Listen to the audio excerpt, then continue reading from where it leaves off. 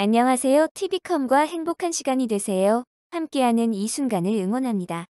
먼저 구독과 좋아요 부탁드립니다.